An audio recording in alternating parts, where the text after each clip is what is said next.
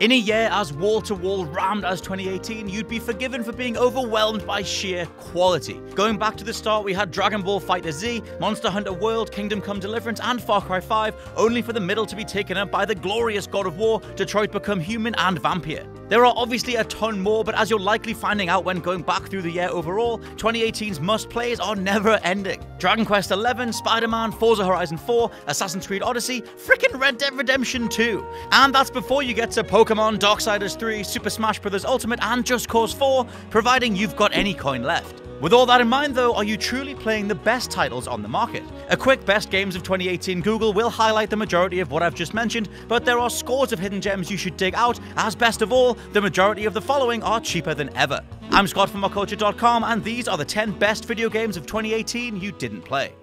Number 10, Fire Pro Wrestling World.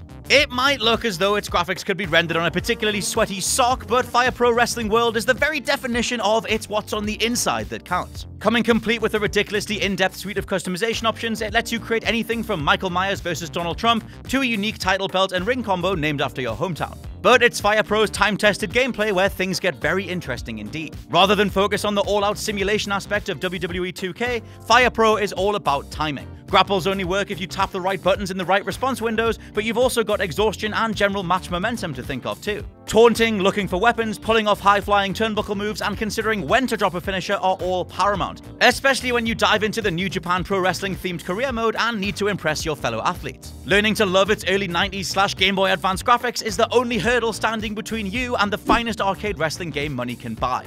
Number 9, Life is Strange 2. Fixing all the cringeworthy dialogue problems of the original by leaping into a different cast of characters, The only place I can be myself is in the dark room. it's easy to overlook Life is Strange 2 as just another Telltale clone, especially when Telltale themselves have sadly gone out of business. Sticking with that mentality would be a problem though, as writers Christian Divine and Jean-Luc Cano have crafted a story around two runaway brothers, unwittingly triggering supernatural powers and having to deal with the consequences. The first game was very much the same too, as protagonist Max's time warps could be used to fully explore a dialogue tree or a particular plot path, only to rewind and try again. These more gameplay focused ideas differentiate Life is Strange, and though at time of writing the sequel only has one episode of its second season out, it's a gut punchingly resonant combination of police brutality, racially charged America, and that homegrown Dontnod charm that only they can pull off. If your 2018 has been heavy on action and light on story, Life is Strange 2 has you covered. Number 8, Unravel 2. Unravel 2 is nothing short of the most delightful and cutesy platformer this side of Kirby's epic yarn. In fact, thanks to its mix of yarn ball protagonists and a real world setting awash in autumnal colour palettes and floral scenery, it might just be even more lovable. Gameplay wise, it's a physics based side scroller, and though you can play solo swapping between both characters to complete puzzles, it takes on a life of its own once you and a partner tackle everything together. Suddenly, you're both tandem swinging or catching one another, forming tightrope so that one of you can reach faraway collectibles. It looks stunning, has just the right difficulty curve across the main progression, and even unlocks a bunch of stupidly hard platforming gauntlets if all you want is a more severe challenge when all's said and done.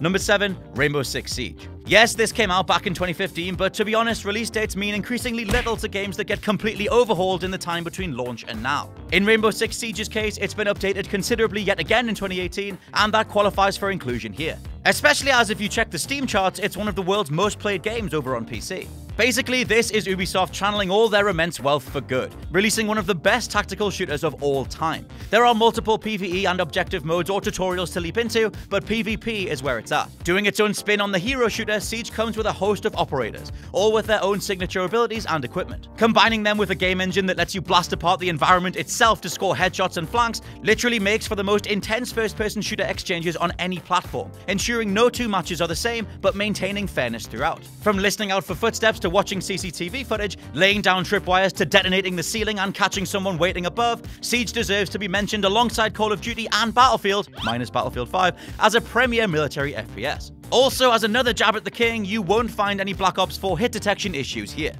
Number 6, The Messenger. Okay, so I'm gonna make you care about The Messenger. Are you ready?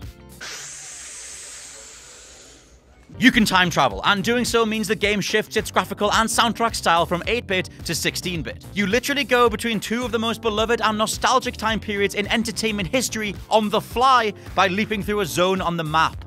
Done. Oh, you, you want more? Well, in terms of a plot, you're playing as the titular messenger, sent to retrieve a mystical scroll, but naturally everything blows out from there. Brilliantly, developers Sabotage Studio clearly grew up playing all manner of NES and SNES classics, not to mention they're pretty great at poking fun at the games industry overall through a lovable fourth wall breaking merchant. Combined, the result is a side scrolling platformer that revels in the old school whilst also providing a supremely tight and hilarious script alongside an enjoyable array of powers and attacks to bust out. Lastly, it's worth pointing out that past the halfway mark, this turns from a platformer into a Metroidvania. Its second half isn't anywhere near as strong as its first, but it's almost two games in one. I like to think of it as the developers paying tribute to two of the most beloved genres of all time, and either way, The Messenger overall is damn special. Oh, and the soundtrack in both the NES and SNES style versions completely bangs. Number 5, The Swords of Ditto. There's a bit of a golden age going on in TV right now in regards to animated shows tackling all sorts of mature subject matter. I'm looking at you over the garden wall. But now we have that same in vogue art style being applied to a challenging Zelda style roguelike. Playing as the never ending lineage of swords, warriors who wield the titular weapon against the unstoppable evil named Mormo, you're given a handful of days with which to grind out levels and prepare for a final boss fight. Toys are your special items, ranged attacks and spells, but gameplay is otherwise the same as Link to the Past. A whole bunch of dungeons, a whole bunch of puzzles, and a whole bunch of slicing every enemy to pieces inside an inviting open world. Coolest of all, everything is procedurally generated upon respawn, giving Swords of Ditto a nice sense of replayability alongside its adorable, gorgeous presentation. Number 4, Reigns, Game of Thrones. I seldom recommend Android or iOS releases, but Nerial's Reigns franchise has acquired the Game of Thrones license, and it's a perfect match. Playing as the main cast of the show and set towards a time period inspired by the end of Season 7, you'll initially attempt to rule Westeros as Daenerys, only to inevitably get stabbed in the back, killed by the public, or stabbed in a bar fight, unlocking more characters. Gameplay is as simple as swiping left for one decision and right for another, but the world building, plot paths, and decision making are all solid and engaging. Four meters comprising power, religion, the love of the people, and the Iron Bank are constantly in flux with every swipe, too, meaning you can live out your fantasies of hacking down the Faith Militant, but the denizens of King's Landing will likely stone you to death afterwards. Overall, a neat, effective, and fan service heavy experience, I guarantee this was not on your radar until now. Number 3, Into the Breach. Released on PC at the start of the year, this FTL follow up is a perfect fit for the Switch's drop in, drop out appeal. Playing as a time resetting group of world saviors, though only one of you can return at a time, you're tasked with using an army of battle mechs to take on skyscraper sized aliens that burrow up out of the earth. As you can see from gameplay, it's immediately very chess like. Taking turns, positioning, and thinking five steps ahead is paramount, and factoring your surroundings in affects every decision. Thankfully, Into the Breach has clearly been playtested to perfection, and subset games are the maestros of putting you into situations where only the most accurate tactical thought will see you through. Fan of XCOM, Final Fantasy Tactics, or Advance Wars? This is your new obsession.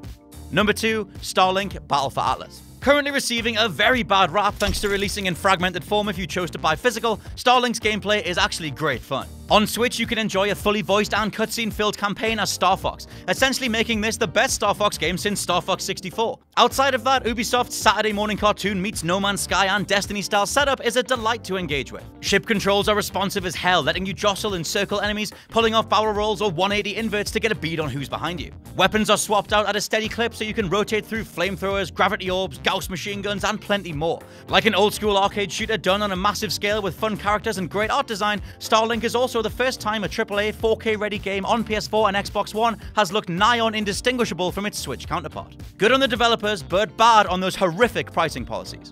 Number 1 Mutant Year Zero Road to Eden. Sneaking onto shelves when we all thought the year was done for, developers Bearded Ladies Consulting have produced something that plays like XCOM meets Beyond Good and Evil 2's art design with this War of Mine's overall tone. Granted, many of the line deliveries are machoed up to the point of being occasionally cringe, but this turn-based strategy has a thick slice of stealth up its sleeve to compensate. Unlike XCOM, although XCOM 2 did show you enemy awareness zones so you could plan ambushes effectively, Mutant Year Zero lets you control a squad with one-to-one movement as opponents embark on routines and animations. This means you can thin the ranks ahead of deploying, put team members in advantageous positions, and spring your plan from multiple angles at precisely the right time. You'll need to do all of this because Road to Eden gets hella hard, hella quick. Thankfully, its mystery, what's really going on narrative keeps things moving nicely, and its crew of anthropomorphized warrior creatures are a delight to pilot through some Last of Us style environments. I came away thoroughly impressed by Mutant Year Zero. It borrows just enough from XCOM whilst bringing innovative elements to the table to make for something altogether quite special. And that's my list. Let me know down in the comments below if there were any other hidden gems that you picked up from across 2018. And please check out the WhatCulture Gaming podcast on Spotify, iTunes, or wherever else you can think of. Jules' t-shirts are available over at shop.whatculture.com. I've been Scott from whatculture.com, and I'll catch you soon.